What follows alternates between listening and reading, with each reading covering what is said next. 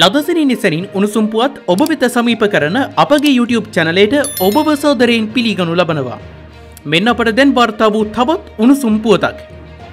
මෝටරොත ප්‍රවාහන දෙපාර්තුමේන්තුව සතුව ඇති සීමිත රියදුරු බලපත්‍ර විදෙස් ගත වන නව බලපත්‍ර ලාබයින්ට පමණක් නිකුත් කිරීමට තිරණය කර තිබෙනවා. සෙසූ බලපත්‍ර අයදුම් කරුණු සඳහා දැනට ඇති බලපත්‍රය වලංගුකාරය තවත් වසරකින් දීර්ඝ කිරීමට පියවරගෙන තිබෙනවා.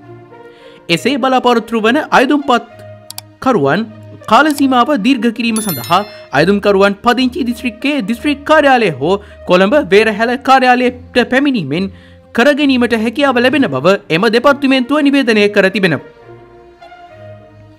රියදුරු බලපත්‍ර මුද්‍රණ කාඩ්පත් ලක්ෂ හතරමාරක කොටසක් ඔස්ට්‍රේලියයානු සමාගමකින් ඇනවුම් කර ඇති අතර ඒවා ඉදිරි සතියේදී මෙරටට ලැබෙන්නට නියමිත බවද එම දෙපාර්තුමේන්තුව සඳහන් කළා.